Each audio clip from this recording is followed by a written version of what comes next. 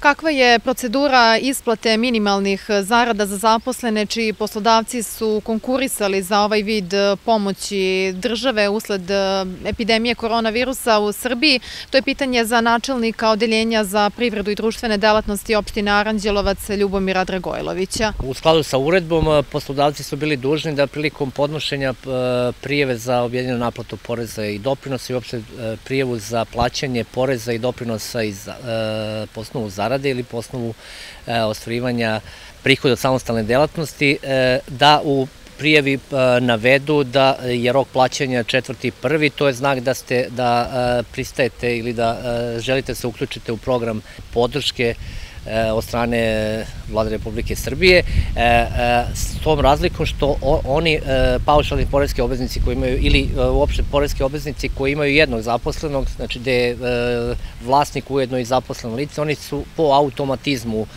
ušli u taj program Tako da program podrazumeva znači, isplatu tri naknade u visini minimalne zarade za mesec mart. Znači država će ići sa uplatom tri e, naknade e, iste vrednosti. Znači osnovica je minimalna zarada za mart mesec 2020. E, godine. Postoji samo jedan uslov znači, koji korisnici pomoći moraju da ispune, a to je da ne smeju da otpuštaju više od 10% zaposlenih u periodu najkasnije do, u roku od tri meseca od dana poslednje isplate minimalne zarade. Inače, uz isplatu minimalne zarade privrednim subjektima omogućeno odlaganje plaćanja poreza i doprinosa iz zarade do 4. januara 2021. uz mogućnost da taj dug, to jest odložene obaveze po osnovu poreza i doprinosa plate u 24 jednake mesečne rate e, tokom 2021. i 2022. godine.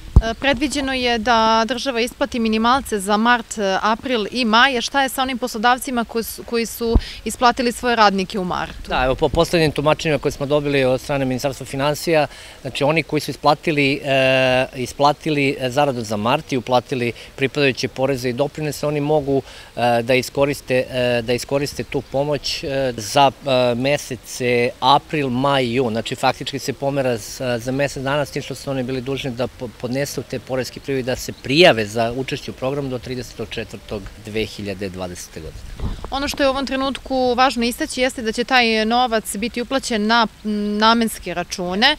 Šta to tačno znači? Narodna banka Srbije preko upravo za trezor će otvoriti svim prirodnim subjektima e, namenske račune i to onima koji imaju e, jedan račun u jednoj banci, njima će biti e, otvoren namenski račun u toj banci. Oni koji su imali više poslovnih računa, oni će oni su preko portala mogli da dostave informaciju Narodnoj banci u kojoj banci žele da im se otvori taj namenski račun. Znači, taj novac se uplaćuje na namenski račun, poslodavci mogu taj novac isključivo da koriste za isplatu tih zarada. Znači, ne mogu slobodno da koriste taj novac.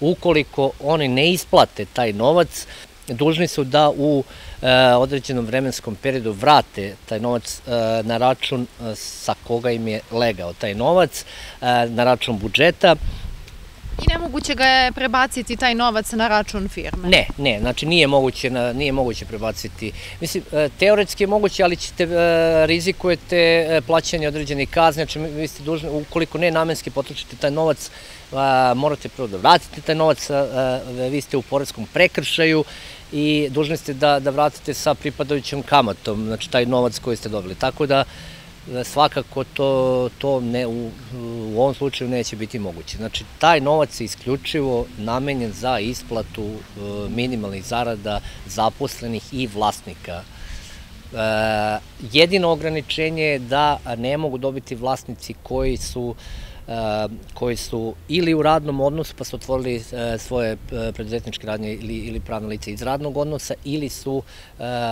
penzioneri. Znači oni ne mogu dobiti taj novac, svi ostali mogu.